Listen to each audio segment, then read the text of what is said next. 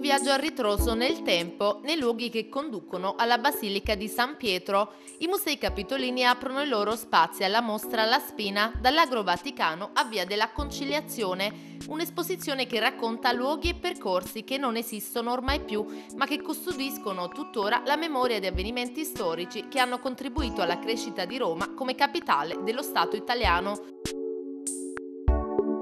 sculture, affreschi, dipinti e cartografie raccontano la storia della Spina dei Borghi, cioè dell'isolato rinascimentale poi demolito con l'apertura di Via della Conciliazione, che tutt'oggi collega Roma allo Stato Vaticano. Le fasi di vita di San Pietro sono illustrate nelle tante opere in mostra organizzata da Zetema Cultura. Non è la classica mostra su Roma sparita e neppure una mostra sulle demolizioni, è una mostra archeologica nel senso che ehm, vuole raccontare attraverso le testimonianze materiali del passato ehm,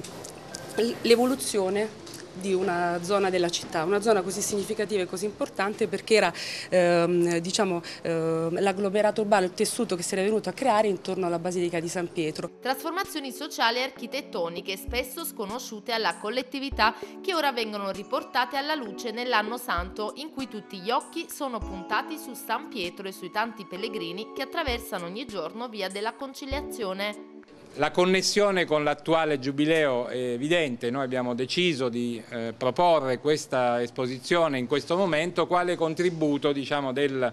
della sovrintendenza e dell'amministrazione capitolina alle celebrazioni del Giubileo. Profili simbolici, interventi strutturali che si sono susseguiti negli anni per definire il problema dell'accesso a San Pietro, aprendo alla grande via della conciliazione dopo la fine del dissidio tra Stato e Chiesa con i patti lateranensi del 1929.